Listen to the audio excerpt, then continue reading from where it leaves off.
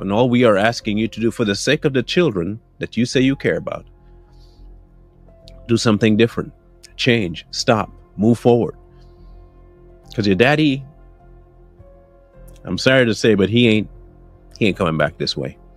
He ain't straightening up. He's starting something new again to do more damage to what on top of what he did before. Now he's bringing a second generation in with him. And it's not you. And that could be a very big blessing, Meghan. This is a huge blessing. You do not want to be in the same circle. There's a reason why you were shook from the tree. While you may share the same traits as that tree and be an apple, you are a completely separate tree. Your branches will grow differently, your root system will be different.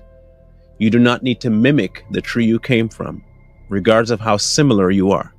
Make it one of a triumphant story where you broke out of the bonds that your father put you in into freedom